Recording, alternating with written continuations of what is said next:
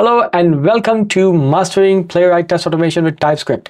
This is the first lecture of this whole course. So in this lecture, we will be looking at how you set up your development environment. This means all the dependencies, all the programming frameworks and the integrated development environment details will be provided in this lesson. So make sure you repeat it multiple times until you get it right. This is the most important bit of the whole course because this is where you set up your environment. Environment is like a foundation. So if you have got the right foundation you will succeed. So let's get started. All right. So before we start let's make sure our system meets all the requirements. So node.js is the basic requirement for playwright because playwright is a library for node.js the way we install node.js is if you go to nodejs.org you will see the two download options Go for the one on the left hand side which says LTS. LTS means long term support. Current version may have some bugs, so it's not the best idea to install that one. So click on it and it will give you an option to download, save, and run the setup. It will go to the next, next, next finish. Do the same thing with Visual Studio Code. So if you go to code.visualstudio.com forward slash download, choose the one that is right for your operating system and download that and do the installation. So once you have got the Node.js and the Visual Studio Code, it's time to check if your system is configured correctly. So open a terminal app and in the terminal app, just type node-v. So it will tell you what node version you have got and type npm-v. That will tell you what node package manager or npm version you have got installed. I've got number uh, 18, which is also fine because as you can see in the system requirements, it should be 16 or above. So the first thing we can do over here is I'm gonna I've got a folder called workspace. You can have any kind of folder in this folder, I'm going to create a new project. So let's call it mkdir. mkdir basically is used to make directory. And I'm going to say, uh, this is a folder for playwright hello world. So I'm going to go inside the playwright hello world project. Let me increase the font size so that you can see it more clearly. So in this play, play, Playwright Hello World project, the first command I'm going to run is, let's go to the documentation. So on the playwright.dev, you can see docs forward slash intro. Here you have the documentation for installing Playwright.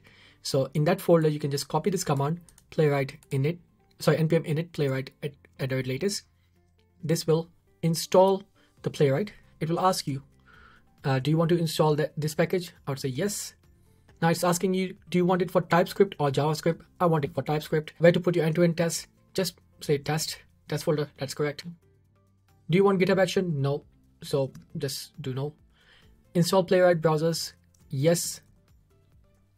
And what this does is it generates a file called package.json and it adds Playwright as a dependency in the package.json. So as you can see, the next step it did was installing Playwright and it ran the command install npm install save dev playwright test and now it's adding the dependencies for the browsers. So it's installing chromium ffmpeg codec for the video recording the firefox webkit. So all of them has been added. Now if i do cat and package.json i can see playwright as a dependency and types as a dependency. So this means you have done it correctly. You have got Playwright installed uh, and you have got TypeScript installed on your new project called Playwright Hello World. So let, let me open this in the Visual Studio Code. So I'm going to go back to that search bar, that Visual Studio Code app. Now in the Visual Studio Code app, I want to make sure that you have got the right extensions installed. So on the left hand side, if you don't see this uh, uh block menu, like, like I can't see it right now, I'm going to go and do a right click and select extensions. This basically allows me to download an extension for the Visual Studio Code. And the extension that you need is called Playwright. And this is the Playwright test for VS Code extension. I've already installed it uh, for yourself. You can just click on install like, like this option over here. You would see uh, over here. And this is a verified extension by Microsoft. So Microsoft published it itself. So you have no reason not to trust it. So once you have got this extension, your Visual Studio Code is ready.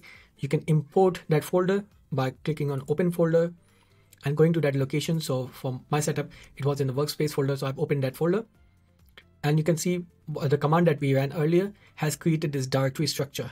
And this is the same package.json file that we saw earlier. So it has got package.json file which contains all the dependency, and then it has got package dash lock.json which has got the detailed version of the dependency. You don't need to touch this file at all. That is automatically generated. Whenever you make changes to package.json, it's reflected in package. We'll come to it why that, that uh, it's done that way. And it also contains a basic example test. And if you have got the right extension, uh, which is a playwright extension, you can see this play button on the left hand side, which will allow you to run these tests. So if I click on play, you can see something happening at the bottom of my screen. It ran a test and it has passed the test. So there you go, guys. So you have got the basic setup ready for your automation testing with Playwright and TypeScript. It's time to move on to our next lesson. Well done! You have just set up your development environment. What are your thoughts? Make sure you mention your thoughts in the comments. The main idea of this video was to get you started with the right set of tools. In the next video, we will be covering how you write your first playwright test. I'm really excited. So see you in the next video.